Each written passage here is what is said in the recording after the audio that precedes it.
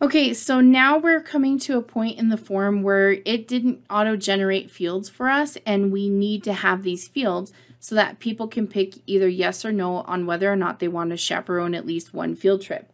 So this is where you can come over here and add fields fresh. So we're going to come and choose a radio button. Radio buttons are different than checkboxes in that radio buttons, people can only select one. So black and white, yes or no, male, female. Well, I guess with gender, you could have other different radio buttons, but where they can only select one. So because I want them to either say yes or no, I don't want to have checkboxes so that they can pick both and confuse me. So this is where I'm going to click over here and choose radio button. And my mouse turns into a drawing box. And it starts with a box even though it's going to be a circle. And I'm going to have that box touch my circle on the very top and the very left and then drag it out so that it hits the very right and the very bottom. That's going to make an almost perfectly sized circle. And then I need to do the same for no. Okay, so once you're done with drawing your own field, you have to hit escape and you might need to click escape again to get out of that edit mode. All right, so now with these radio buttons, it's very important. See how this says it's in a generic group three and it's choice one and choice two, not yes and no. We have to fix these, not just for usability for everybody, but also for accessibility. So I'm going to double click to get into the radio button properties. And I need to name this group whatever this question is. So I'm going to say chaperone. Watch when I do this and I hit tab to the next one you can see that choice one is now a part of the chaperone group and choice two is still a part of that generic group three. It's important that you understand that all the choices for the radio buttons should be in the exact same group. So I'm going to click on group two and I'm going to change, or this uh, choice, and I'm going to change the group name to the exact same chaperone name.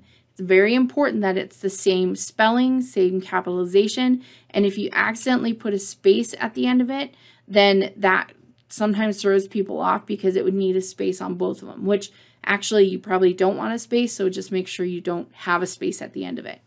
But they need to be the exact same, and when I hit tab to move to the next option, you can see that both choices are now under the chaperone group, which is exactly what we want. Now the tooltip these are kind of tied together now, and so the tooltip will be the same for both. So if I come in here and say, choose yes or no, and then click over here to this one, you can see it says choose yes or no. I do want to make this required, and notice when I made that one required, then this one becomes required as well.